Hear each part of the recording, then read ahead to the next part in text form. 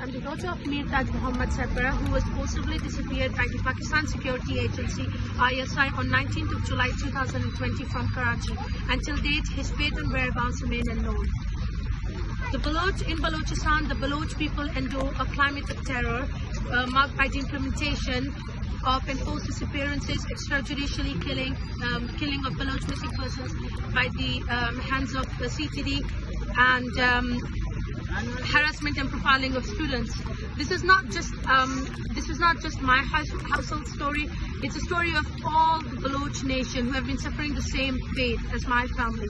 Today is the second day of the sit-in protest organized by my family from 3rd of January to 7th of January for the safe recovery of my father and all missing persons. I urge the British government, UN and international community to play their role for the safe recovery of all missing persons, including my own dad, and um, to pressurize Pakistan so they could release all missing persons. Thank you. Sorry.